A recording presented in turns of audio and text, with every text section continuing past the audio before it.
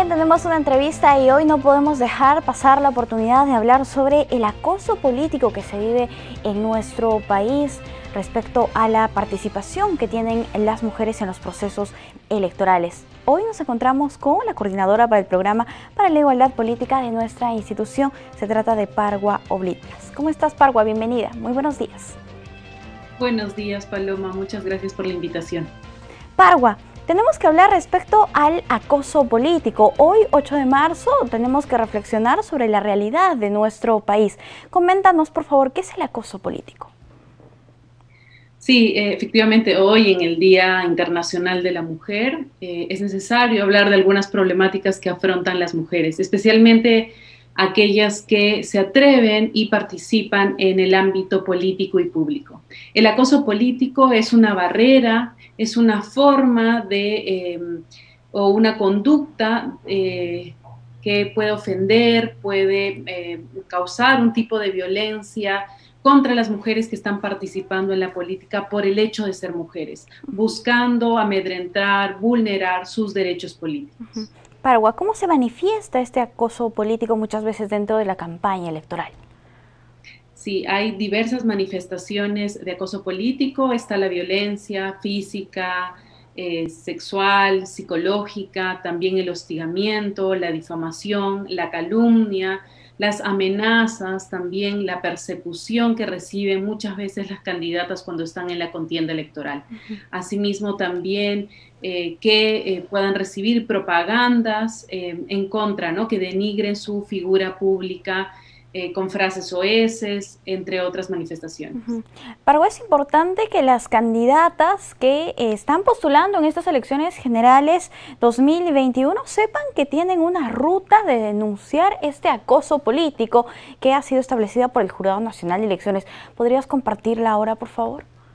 Sí, claro que sí. Mira, eh, primero manifestar que en nuestro país no existe una normativa nacional que eh, prevenga y sancione el acoso político. Eh, mm, pero como es un fenómeno social que ocurre y que le pasa a las mujeres que están en política, desde el Jurado Nacional de Elecciones se ha implementado una ruta de atención para las candidatas en los procesos electorales. Esta ruta lo que les da es una atención sobre estos hechos de acoso político, ¿no? Y lo pueden presentar ante los jurados electorales especiales de su circunscripción territorial. Eh, al tratarse de cualquiera de estas manifestaciones o la que está regulada también por nuestra entidad electoral, al tratarse de propaganda electoral, lo pueden presentar ante los jurados electorales especiales. Los jurados electorales especiales ah, revisan, hacen un análisis, piden un informe a los fiscalizadores electorales y luego emiten su opinión em, señalando si es o no un acto de acoso político. Si así fuera y tuviera también o se hubiera cometido algún delito contra la candidata, podría remitirse al Ministerio Público y también al Tribunal de Honor de nuestra entidad que vela por el cumplimiento del pacto ético electoral. Bien, Pargo, a la fecha, ¿se han registrado estos casos de acoso político, estas denuncias? Sí, por un lado tenemos el registro en el formato 13 del SAE, que lo hacen las y los coordinadores de acciones educativas que están desplegados en todas las regiones y eh, registran estos casos, ¿no?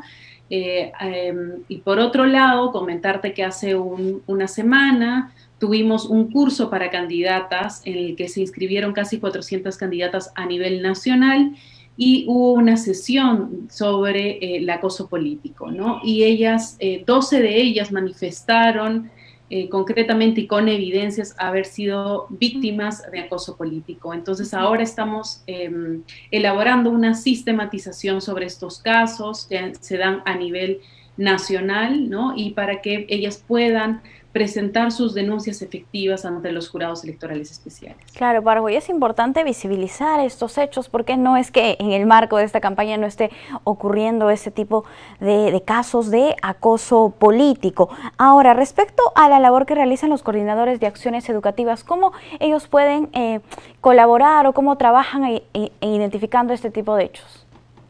Lo primero es que los coordinadores de las y los coordinadores de acciones educativas tienen una relación directa con representantes de los partidos políticos. En este sentido, muchas veces también tienen esta comunicación con las mm. candidatas.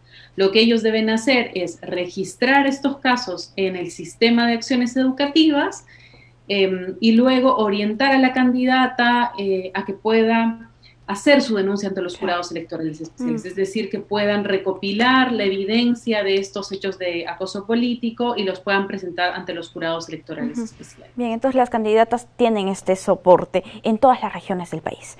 Eh, respecto a la necesidad de la creación de una ley que prevenga y sancione el acoso político, justo lo que mencionabas hace un momento, esto todavía está buscando el Jurado Nacional de Elecciones junto a otras instituciones.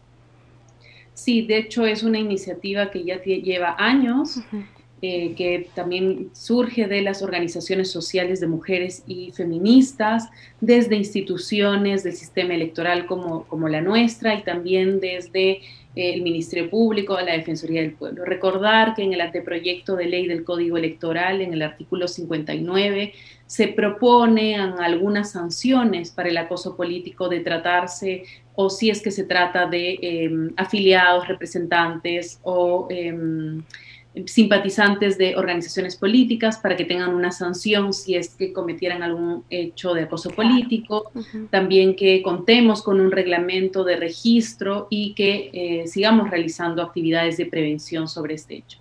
Comentarte que em, en el Congreso se está organizando un pleno mujer en el que está en agenda los proyectos de ley de acoso político, ¿no? Entonces esperemos una pronta aprobación de una normativa, entendemos que no sería eh, o no estaría vigente para este proceso electoral que em, ya falta muy poco, ¿no? Para el 11 de abril, pero que sí serviría para em, sancionar y prevenir el acoso político. Entonces esperemos. creemos que es necesaria esta aprobación de la ley. Claro que sí, esperemos que sí sea. Eh, otras medidas que se necesitan para garantizar eh, la participación política de las mujeres, ¿cuáles serían, Paraguay? Ya tenemos la paridad y alternancia del 50%, que es un hecho histórico. Sin embargo, también eh, acabamos de pasar una nota en la que se evidencia que solamente el 22% de listas inscritas al Congreso de la República tendrían a una mujer que encabezaría la lista. Todavía no estamos hablando de una igualdad, Paraguay. Sí, yo creo que la paridad y la alternancia han sido, son un paso muy importante para democratizar la participación política de las mujeres. Sin embargo, ahora, después de estas elecciones, veremos si eh, tiene una real y efectiva mm, solución a este problema, ¿no? Por otro lado, está esta normatividad de acoso político, que es una de las principales barreras que afrontan las mujeres estando en política, pero también está el financiamiento de las, con un enfoque de género para las candidatas de eh, cuando participan en, en, política, ¿no? Recordar que existe una brecha de salario, una brecha económica entre hombres y mujeres. Por ejemplo, hay una diferencia de un 29% de hombres y mujeres en sus salarios, aún así cumpliendo el mismo trabajo. Entonces sí se tiene que prever este, esta financiación para las mujeres candidatas.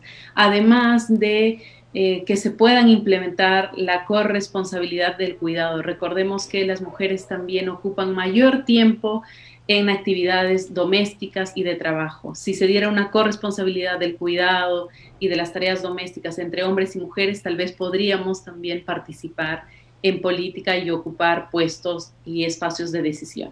Así es, Parwa. Como lo acabas de indicar, todavía queda mucho trabajo en nuestro país para lograr una verdadera igualdad y desde el Jurado Nacional de Elecciones, desde el Programa para la Igualdad Política, se está trabajando en ese sentido. Muchísimas gracias por todo tu aporte y también por tu participación en este programa. Muchas gracias y feliz día a todas las mujeres trabajadoras del Jurado Nacional de Elecciones. Así es, feliz día, Paro. Hasta una próxima oportunidad. Amigos, nosotros vamos a hacer una pausa y volvemos.